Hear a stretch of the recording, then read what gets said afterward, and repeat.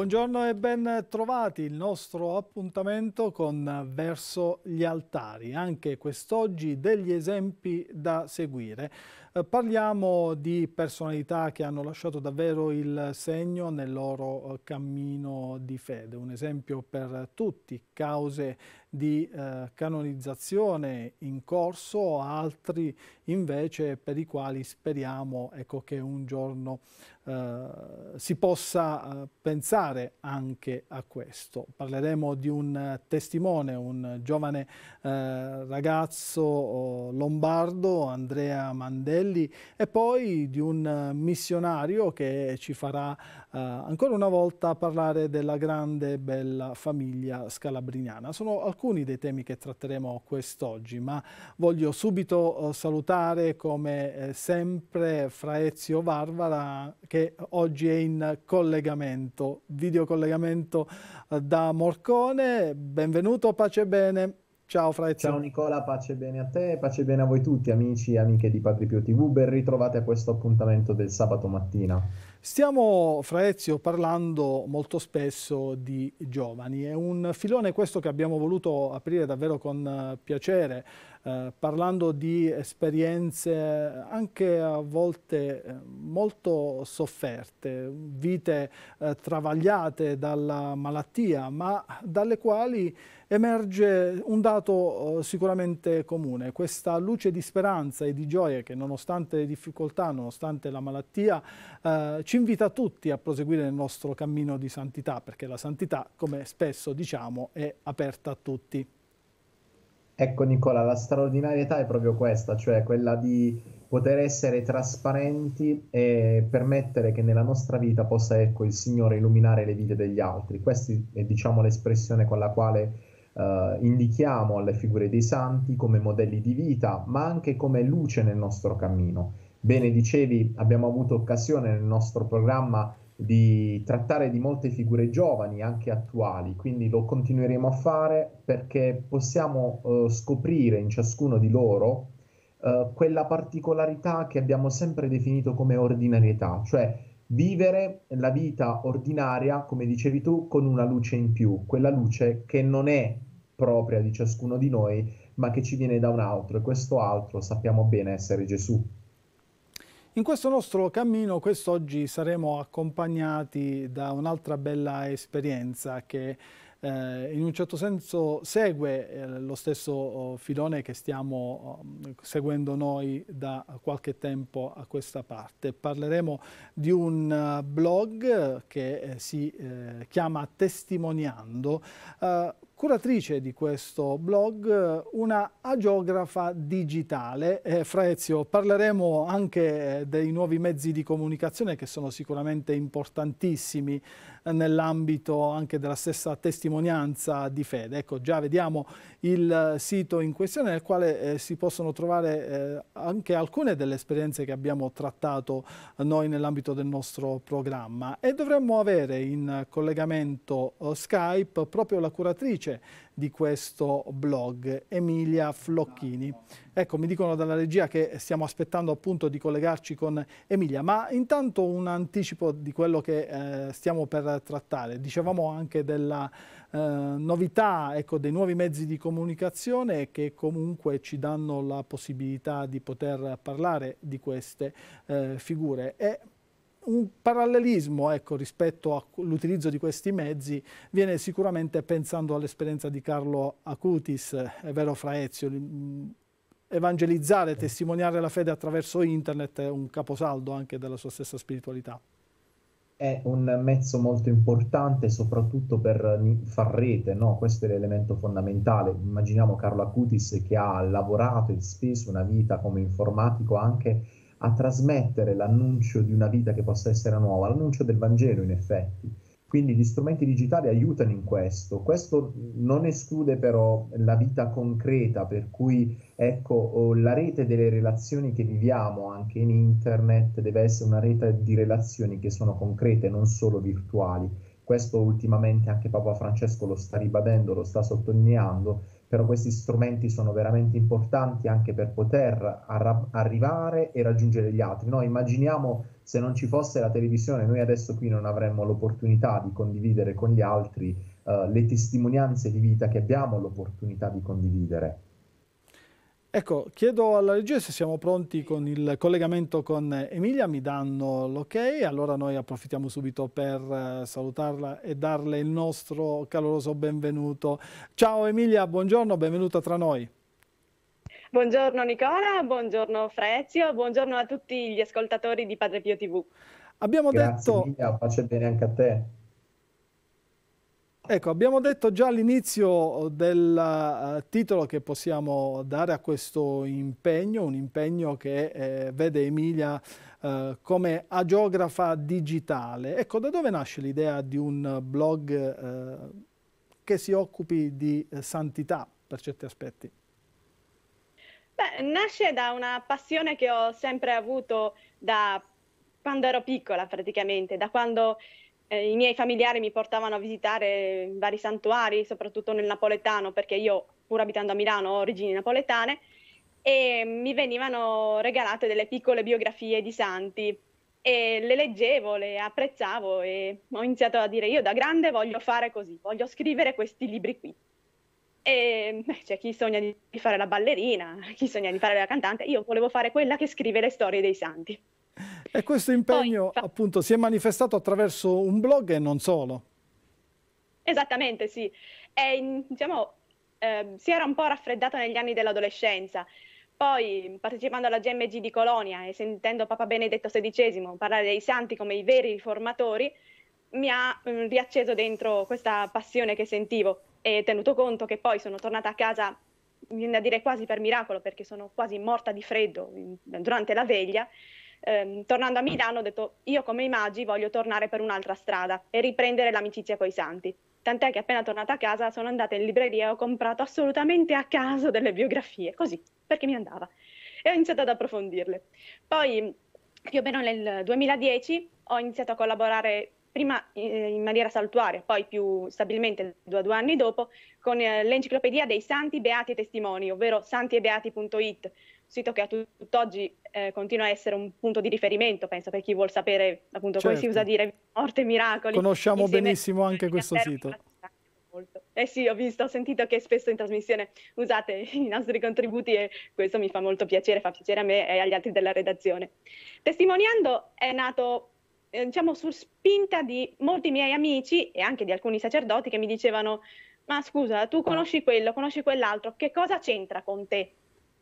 E questa cosa mi faceva un po' innervosire perché io volevo raccontare che i santi e le figure esemplari c'entrano con noi, incrociano la nostra strada attraverso vie che mai potremmo pensare. Trovare un santino in una chiesa, eh, ricevere una biografia in regalo, sentirla parlare in una conferenza, una testimonianza in parrocchia.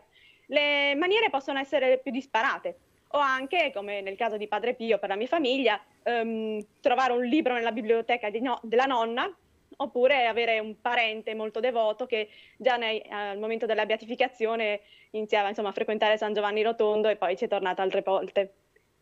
Ecco, esperienze che possono capitare per caso uh, nelle nostre famiglie, ma che poi ci indicano una strada e questo ci fa capire che nulla è per caso, è vero Fraezio? Certo Nicola, no, è un'espressione molto bella quella che anche diciamo ci è stata data e consegnata dalla Chiesa con un termine particolare, i segni dei tempi, no? Quando parliamo di segni dei tempi, noi dobbiamo accorgerci che anche nella santità è così, cioè non lo stiamo vedendo con le figure soprattutto giovani no? della santità, cioè accorgersi delle persone che ci stanno accanto, che hanno una luce particolare, questo aiuta anche a noi a intraprendere questo cammino verso la santità. Quindi io penso anche, Emilia, che questa esperienza che hai avuto modo ecco, di, di, vivere, ma nello stesso tempo ecco, di trasmettere, perché l'annuncio non è mai chiuso, è un annuncio sempre aperto, permette anche agli altri ecco, di arrivare a conoscere, a individuare, potremmo dire, dei piccoli particolari che si danno nell'ordinarietà e che rendono appunto l'ordinario straordinario, no Nicola, quello che abbiamo sempre detto. Abbiamo avuto modo di vederlo con figure attuali, quindi uh, potremmo dire che eh, questa è la peculiarità perché parlare dei santi oggi, se sono passati, se hanno vissuto la loro vita? Perché anche noi possiamo riconoscere in loro un segno che magari ha una stessa sfumatura della nostra vita particolare. Esatto, proprio così, Fra Ezio. È proprio quello che cerco di dimostrare. Del resto, mi pare che tra le varie affermazioni che vengono attribuite insomma, a San Pio c'è quella quando gli dicono ma padre è una combinazione che è successo questo e quest'altro. Eh, chi combina le combinazioni? e certo. quindi non credo, che sia una combinazione il fatto che sia qui a parlarne, insomma. Ecco Emilia, tra le tante figure trattate, ecco, nel tuo caso, nella tua esperienza specifica, ce ne sono alcune che ti sono rimaste particolarmente impresse? Oh beh, sicuramente al primo posto sento di mettere Alessandro Galimberti, che è un seminarista della diocesi di Milano, da cui provengo, eh, è mancato nel 3 gennaio del 2004 a 23 anni compiuti per una grave malattia del sangue, prima di poter celebrare anche solo una messa, finché quello fosse uno dei suoi sogni più grandi. Scoprire di Alessandro nell'anno in cui sarebbe stato ordinato sacerdote, ovvero il 2006 più o meno, ehm, mi ha permesso di risvegliare ancora di più la passione che già era, sorta, era risorta in me dopo la GMG di Colonia. E il suo profilo è stato proprio il primissimo che ho pubblicato per santiebeati.it e poi l'ho rimaneggiato mm, in base anche ad altre informazioni e mm, cose che ho scoperto sulla sua vita, anche tramite un film che alcuni suoi amici del suo paese hanno realizzato per ricordarlo, ma anche per rendere il più possibile universale il suo sogno di poter essere uno strumento di rivelazione della presenza di Gesù, come l'olio di nardo versato sui piedi di Gesù da Maria sorella di Lazzaro. Ecco, bello quello che eh, ci hai detto questa mattina, una passione che eh, traspare pienamente eh, dalle tue parole verso un impegno che è sicuramente importante. Allora Emilia, noi ci dobbiamo fermare per un uh, po' di pubblicità, poi torneremo insieme e proseguiremo parlando di Andrea Mandelli, ma ti invito se puoi a rimanere con noi per risentirci magari anche verso la conclusione della nostra uh, puntata odierna. Intanto ti ringrazio, a dopo. Beh, volentieri. Resto in linea allora. Fra Ezio noi ci fermiamo, poi eh, come dicevamo parleremo di questo ragazzo, un testimone, Andrea Mandelli, linea alla regia. Bene, torniamo insieme ed apriamo subito la pagina dedicata ad Andrea Mandelli ascoltando questa sua breve biografia. Andrea nasce il 3 febbraio 1971 a Lucca. I genitori sono inseriti intensamente nella vita parrocchiale e sociale, anche sostenuti dall'appartenenza al carisma di Don Luigi Giussani nel movimento di comunione e liberazione. La loro casa è sempre aperta, accogliente e spesso punto di riferimento. Andrea cresce in questo clima, affascinato fin da piccolo dall'esempio di vita dei sacerdoti della parrocchia e dal loro affetto. Viene chiamato a dare testimonianza della sua fede ai cresimandi della sua parrocchia, invitandoli a dar credito al fatto che Cristo cambia la vita. La precoce maturità della sua fede cristiana, che si approfondisce nell'adesione a gioventù studentesca, viene messa in gioco non appena entra al liceo Giambattista Vico di Cologno Monzese. Diviene da subito un punto di riferimento autorevole e attivo per gli altri studenti, cristiani e non, facilitato in questo anche da un carattere lieto, accogliente, ma mai superficiale, Dopo aver ottenuto il permesso del preside con l'aiuto di un'amica, distribuisce un volantino in cui invita i 1700 alunni della scuola a recitare le lodi. Lo conoscono ormai moltissimi, a scuola e fuori, grazie alle tante iniziative da lui promosse. Partecipa alle elezioni per la consulta provinciale degli studenti, alla quale viene eletto con 5500 preferenze. Gli scarsi risultati nello studio però spingono i genitori ad un cambio di scuola all'inizio del terzo anno, Andrea si trasferisce all'Istituto Sacro Cuore di Milano. Nel clima che respira nella nuova scuola e aiutato dai suoi nuovi professori, Andrea mette da parte il disinteresse per lo studio che fino a quel momento lo caratterizzava. L'ingresso al Sacro Cuore coincide con l'insorgere della malattia, che egli affronta avendone piena coscienza, coraggiosamente e anche in questa occasione immediatamente con uno sguardo di fede. Inizia il percorso delle terapie con permanenze di varia durata all'Istituto dei Tumori, durante le quali Andrea di nuovo è una presenza che lascia il segno, sostenuto in questo da un educatore eccezionale qual è Don Giorgio Pontigia, rettore della scuola. Andrea sbigottisce gli amici, esprimendo il suo desiderio di diventare santo. La malattia era chiara nella sua gravità, ma Andrea nella fatica era veramente lieto. Anche i medici si accorgono della sua imponente serena fede. L'avvicinarsi alla fine della vita terrena lo trova ancora più luminoso, sempre più consegnato al Signore.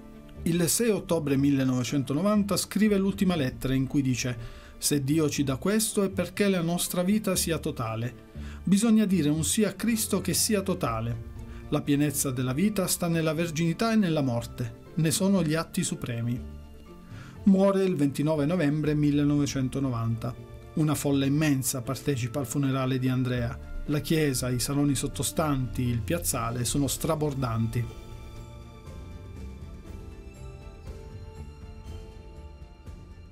Ecco, questa è una sintesi della vita di Andrea Mandelli, questo giovane testimone, ecco, eh, noi spesso mm, precisiamo questi aspetti eh, che eh, si ricollegano anche a quello che può essere eventualmente in futuro un giudizio da parte della Chiesa. Un esempio comunque di un giovane, un esempio di fede che anche attraverso questo eh, libro Ti regalo la mia molla che abbiamo visto nella uh, scheda, oggi ci offre l'opportunità ecco, di parlare di, del suo esempio, del suo lascito, anche se vogliamo spirituale. Lo facciamo proprio con la biografa di uh, Andrea uh, Mandelli, Giovanna Falcon, che è in collegamento con noi questa mattina. Buongiorno e benvenuta. Grazie. Allora, dottoressa, abbiamo mm, fatto appunto soltanto un salto in quella che è stata l'esperienza uh, di Andrea, ma chi era effettivamente Andrea Mandelli? Un uh, giovane, ma un giovane sicuramente particolare per certi aspetti. Eh, sì, grazie del vostro invito. Vi ringrazio molto, sono proprio contenta di questa eh, possibilità di dire qualche parola sulla vita di Andrea.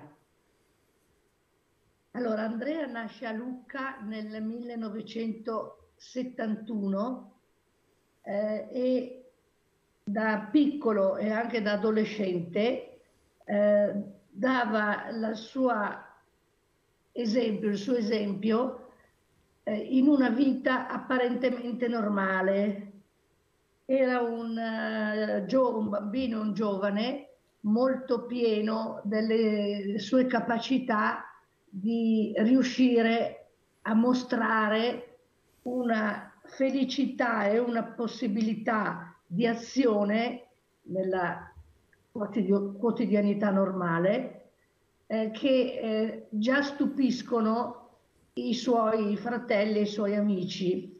Diciamo che con i fratelli e, e la sorella, perché è, la sorella è l'unica di sette fratelli, gli altri sono tutti maschi, eh, fanno una vita così normale, tanto che, dice anche il papà Antonio, si scazzottavano tra di loro perché, perché sono fratelli e sono, vivono una vita normale.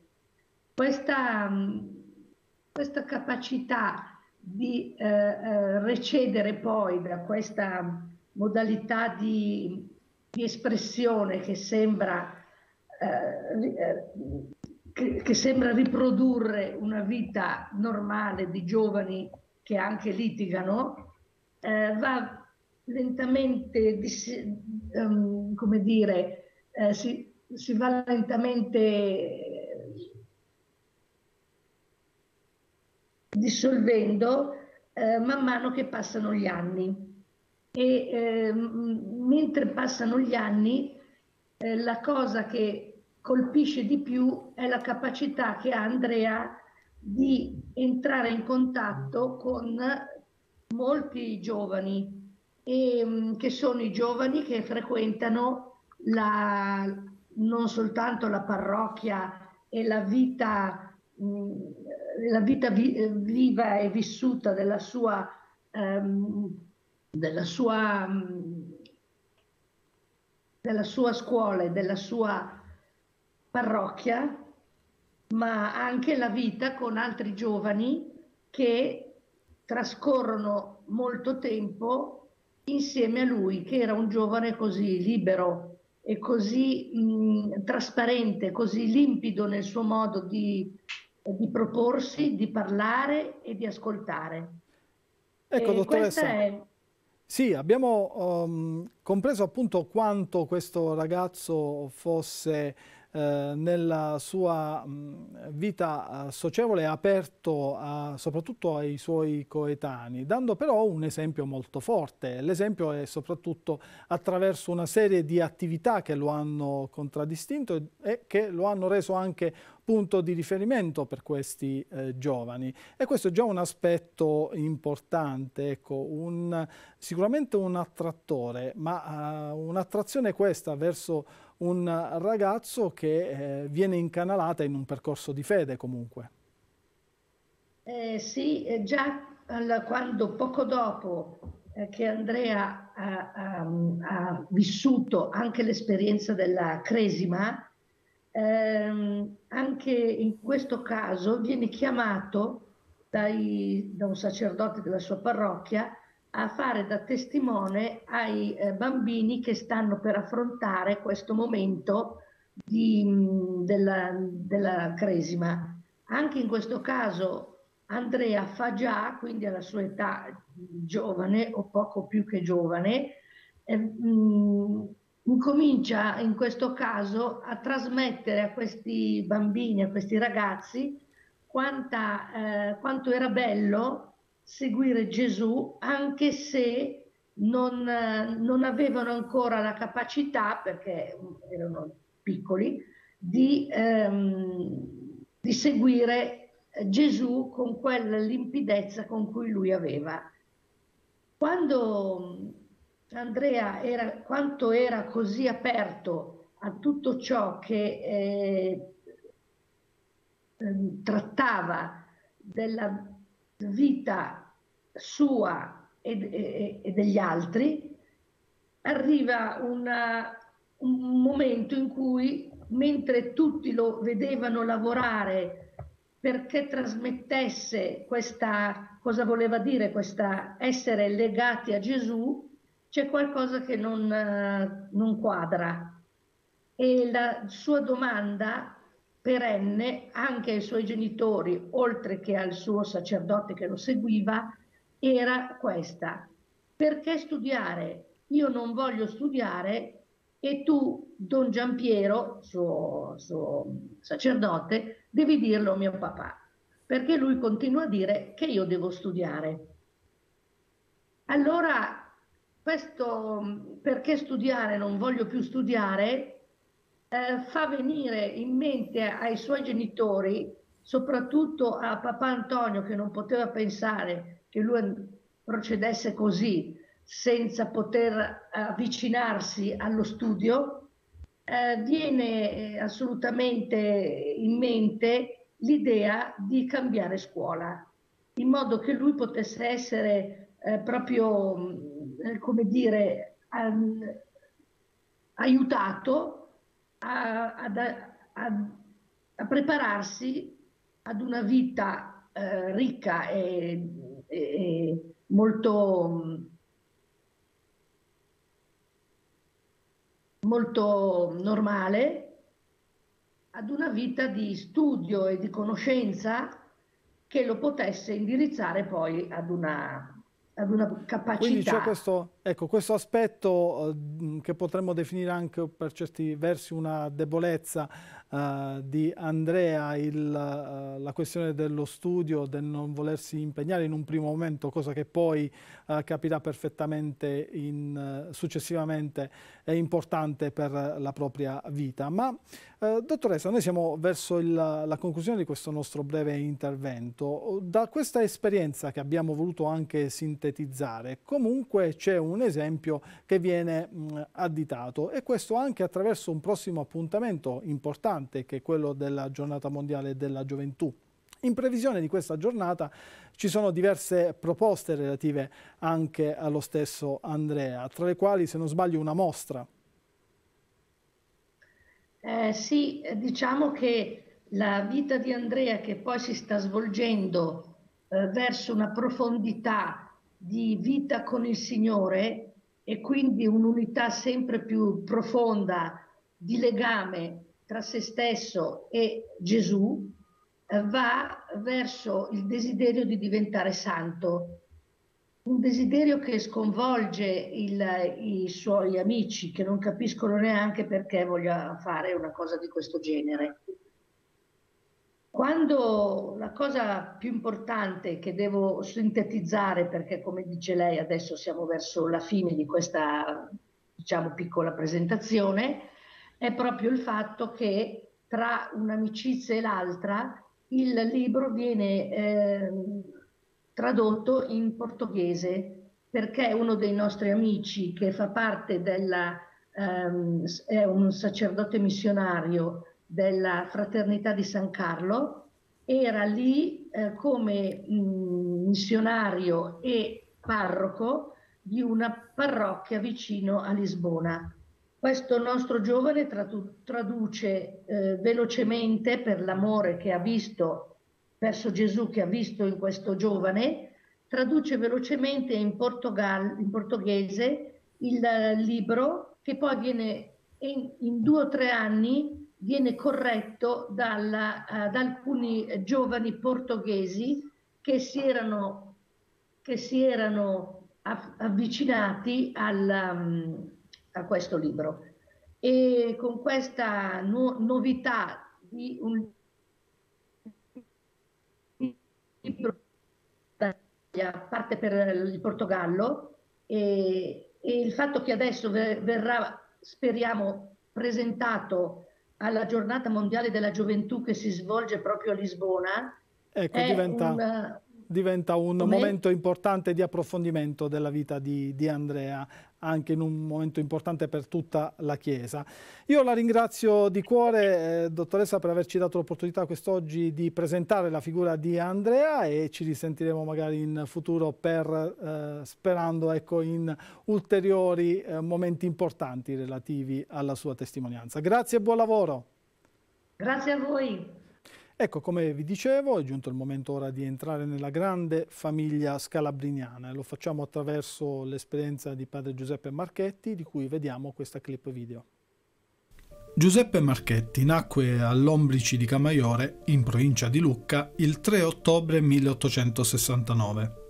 Frequentò il seminario diocesano dove si distinse nello studio. Fu ordinato sacerdote nel 1892 e il 3 aprile dello stesso anno fu nominato parroco di Compignano. Dopo aver ascoltato una conferenza di Monsignor Giovanni Battista Scalabrini sull'emigrazione italiana in America, il giovane sacerdote si mise a sua disposizione. Fece un primo viaggio in Brasile il 15 ottobre 1894 e ne intraprese un secondo l'anno seguente. Ciò che accadde durante questo suo secondo viaggio lo aiutò ad orientare definitivamente il suo futuro come missionario scalabriniano. Una giovane madre morì a bordo della nave, lasciando una piccola figlia orfana e il marito in disperazione. Questo fatto ispirò padre Giuseppe a dare inizio in Sao Paolo, in Brasile, a un'opera per la tutela dell'infanzia abbandonata, l'attuale orfanotrofio Cristoforo Colombo. Per attuare questo suo progetto, il giovane missionario intraprese un ritmo prodigioso di lavoro, affrontando duri sacrifici di ogni tipo, spinto da straordinario zelo e da un sincero desiderio di farsi santo. Animato dalla carità evangelica, arrivò perfino a obbligarsi con voto di mai perdere un quarto d'ora di tempo inutilmente. Marchetti morì in concetto di santità a Sao Paolo il 14 dicembre 1896 alla giovanissima età di 27 anni, stroncato dal tifo, contratto mentre assisteva gli ammalati. Fu il principale collaboratore del beato Giovanni Battista Scalabrini nel dar vita alla congregazione delle suore missionarie di San Carlo. Sua sorella Assunta e un gruppetto di altre giovani donne del suo stesso paese furono le prime suore del nuovo istituto presero il velo a Piacenza nella cappella dell'Episcopio e assieme a loro anche padre Marchetti fece la sua professione religiosa. Le suore partirono quasi immediatamente per il Brasile e il loro primo compito fu il consolidamento delle opere caritative fondate in Sao Paolo da padre Giuseppe. Questa è l'esperienza in sintesi di padre Giuseppe Marchetti, abbiamo ascoltato collaboratore dello stesso ormai eh, Santo eh, Scalabrini e noi abbiamo in collegamento il postulatore padre Graziano Battistella per approfondire questa figura. Buongiorno e benvenuto. Buongiorno e grazie dell'invito. Abbiamo detto di una figura sicuramente giovane, di qualche eh, anno uh, indietro rispetto alle altre figure che abbiamo trattato anche nel corso di queste nostre settimane insieme, ma la cui attualità resta sicuramente importante, soprattutto per ciò che concerne l'aiuto nei confronti del prossimo è il tema della migrazione. Allora, un ambito questo nei quali nel quale gli scalabriniani sono sicuramente un punto di riferimento. Ma eh, padre Graziano, ecco, cosa possiamo aggiungere di padre Giuseppe Marchetti, soprattutto in quella che è la realtà missionaria in cui è stato impegnato? Beh, eh, credo che eh, si debba eh, sottolineare eh, quanto straordinaria sia stata la sua breve vita, ehm, proprio nel senso di abbandono totale alla provvidenza e, e, e capacità di commuoversi di fronte alla realtà che aveva davanti.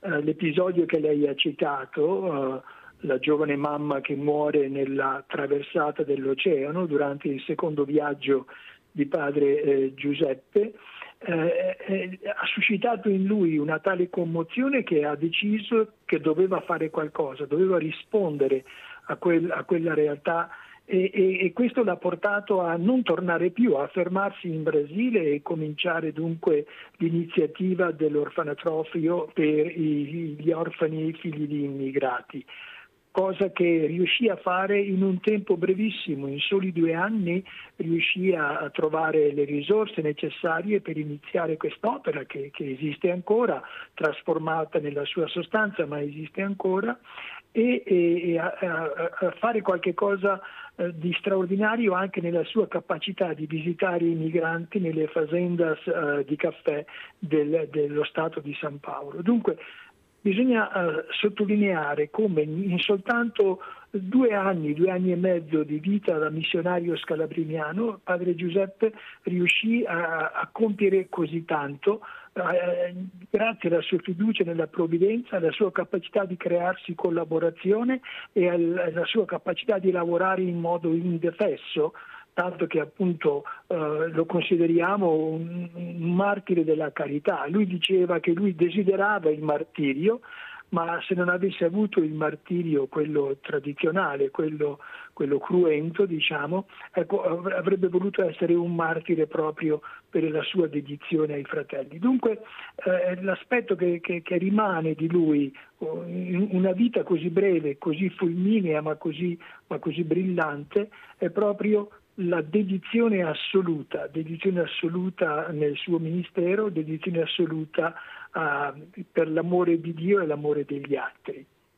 Ecco, ciò che colpisce particolarmente nell'ascoltare e nel leggere della sua vita è questa dedizione totale cui faceva riferimento eh, tanto da non voler eh, sprecare, se così possiamo dire, neanche pochi minuti al giorno in un impegno sicuramente importante. Ecco, questo impegno di dedizione è uno degli elementi fondamentali della sua esperienza. Sì, eh, il cammino eh, di, di, padre eh, Giuseppe Marchetti verso la consacrazione religiosa è un cammino che avviene a tappe. Lui era un sacerdote diocesano della, della diocesi di Lucca, accompagna questo primo gruppo di suoi parrocchiani, che praticamente era un villaggio piccolo Compignano, quindi quasi metà del paese se ne stava andando in America, li accompagna, vorrebbe partire subito con loro, ma non ha i premessi, non ha, non ha, il, non ha il passaporto e quindi deve rimandare la cosa. Torna indietro, ma invece di tornare a Lucca va a Piacenza per incontrarsi con Scalabrini. Eh, Scalabrini lui, come avete accennato anche voi, lo aveva già ascoltato nella conferenza, una delle tante conferenze che Scalabrini fece a quel tempo sulla migrazione.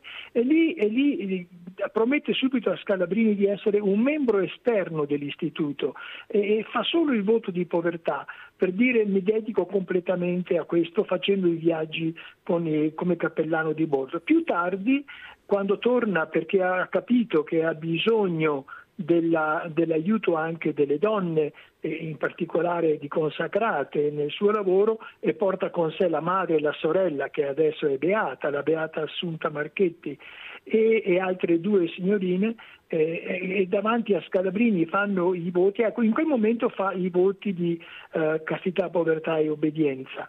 Ma più tardi, quando poi eh, riceve dopo sei mesi, perché le, le, le, donne avevano fatto soltanto voti eh, temporanei di sei mesi, riceve con permesso di Scalabrini i voti, lui aggiunge ai voti suoi che rinnova per devozione, perché già li aveva fatti in modo perpetuo i voti, aggiunge il voto di carità e il voto di non sprecare tempo. Quindi è una consacrazione progressiva ma sempre più profonda, sempre più radicale e sempre più esigente. Un uomo ancora una volta totalmente do- dedito a- alla missione e a Dio e al prossimo. Una sorella beata, un fondatore santo, il percorso della causa di padre Giuseppe a che punto è?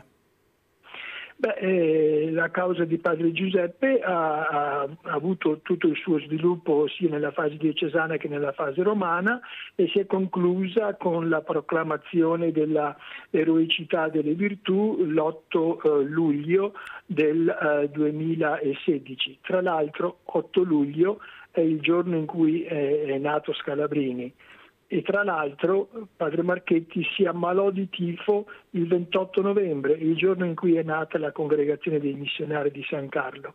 Sembra un uomo che ripercorreva nella sua vita alcune delle date che, certo. che, che l'hanno segnato. E, ehm, a questo punto si aspetta un miracolo, eh, manca solo un miracolo per poter poi eh, procedere alla beatificazione eh, di, ehm, di padre Giuseppe i miracoli bisogna, bisogna, chiederli e il Signore li fa eh, per l'intercessione dei nostri, dei nostri, santi, li fa eh, quando ritiene opportuno. E qui non lo so, eh, appunto bisogna pregare e chiedere al Signore che, che possa mh, attraverso Padre Giuseppe Marchetti eh, compiere il miracolo in modo da portare questa figura all'attenzione della Chiesa, perché questo sono i santi, sono figure che la Chiesa ci mostra perché anche noi impariamo da loro e riusciamo ad essere buoni cristiani. Un esempio per tutti noi sicuramente. Grazie di cuore Padre Graziano per questa sua uh, testimonianza, per questo suo um, impegno uh, anche nell'ambito delle stesse cause degli scalabriniani. Grazie e buon lavoro. A lei, grazie a voi. Ci fermiamo ancora per una pausa e poi torneremo insieme e ritroveremo Fra Ezio e eh, la nostra amica Emilia Flocchini per tirare un po' anche le somme di questa nostra puntata. Ultima parte del nostro programma, il momento di tirare un po' le somme, di riservare qualche riflessione su quello che abbiamo ascoltato dalle testimonianze dei nostri ospiti di questa mattina. E Fra Ezio, eh, noi abbiamo eh, sentito parlare di due figure lontane nel tempo eh, tra loro, un giovane degli anni 80, un uh, giovane sacerdote di fine eh, 800 impegnato in missione in Sud America, ma comunque legate da una stessa esperienza e da una stessa motivazione, che è quel desiderio di farsi santo che molto spesso fa capolino proprio anche all'interno del nostro programma, scoprendo queste figure. Ecco Nicola, il desiderio della santità di cui possiamo vedere, ne stiamo discorrendo parecchie volte nel nostro programma, ha come elemento portante quello che in qualche modo abbiamo vissuto noi oggi indirettamente, no? la, dimensione della, la dimensione dell'amicizia, che è una dimensione molto importante, che non deve essere sottovalutata. Qui quando parliamo di santi, parliamo proprio di amici, ma di amici di chi? Amici di Dio, ma anche amici degli uomini, cioè delle persone concrete, delle persone che non sono distaccate dal mondo, ma anzi che potremmo dire sono con i piedi per terra, ma con lo sguardo rivolto verso il cielo. No? Noi abbiamo spesso intitolato, Nicola, vediamo se ce lo ricordiamo e se lo ricordiamo anche ai nostri amici che ci seguono da casa, come abbiamo intitolato questo nostro programma?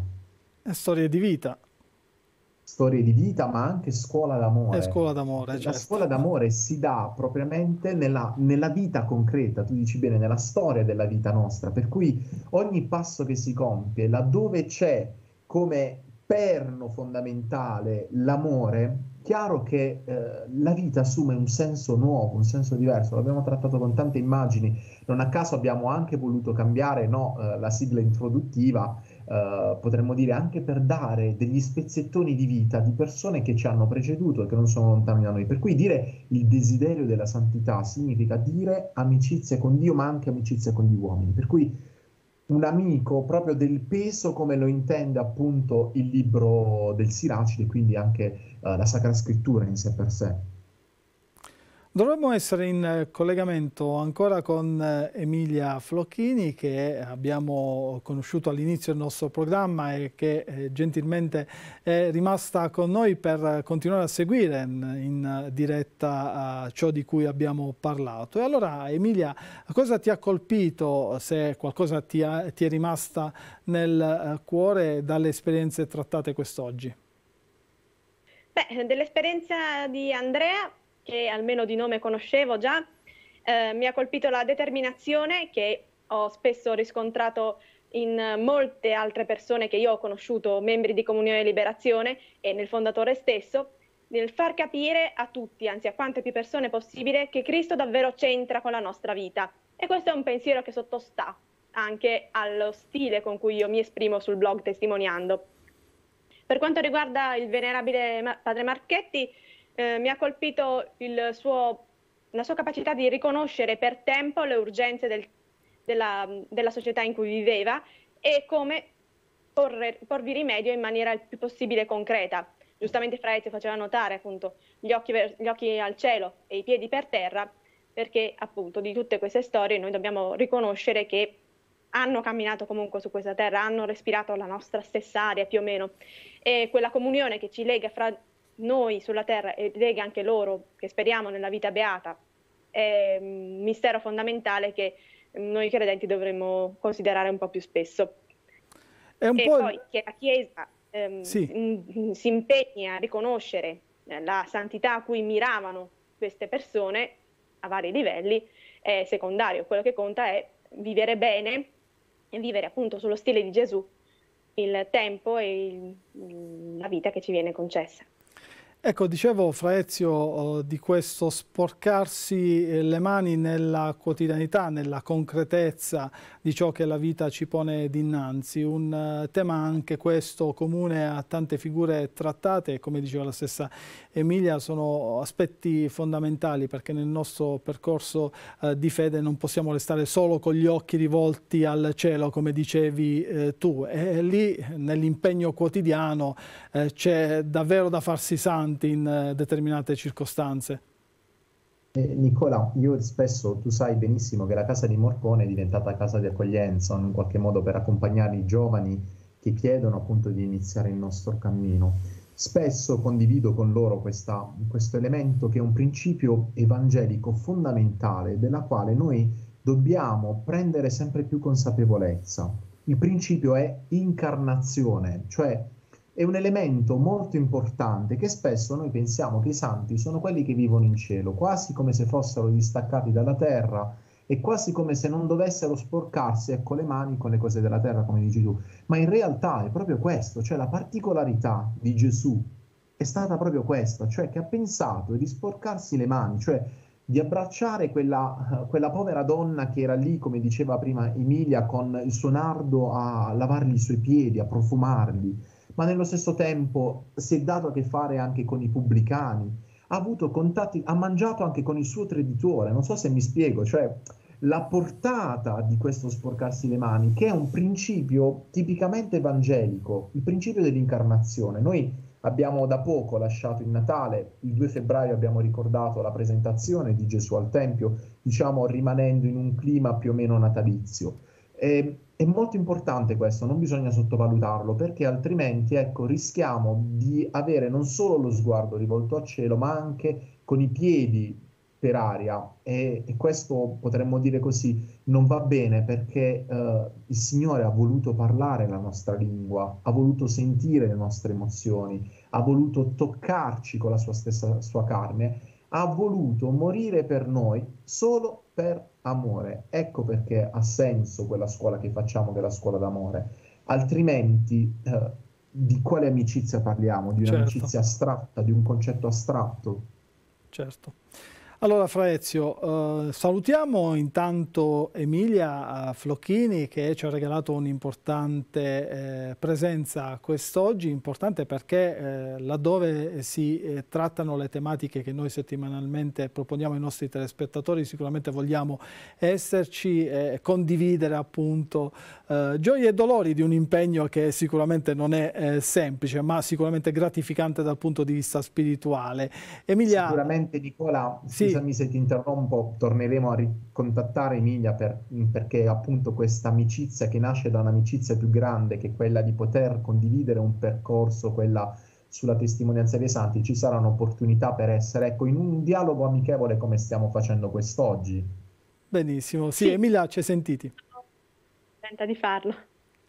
Ecco, Mi grazie. Grazie Emilia. Volevi aggiungere qualcosa, una riflessione finale, un saluto?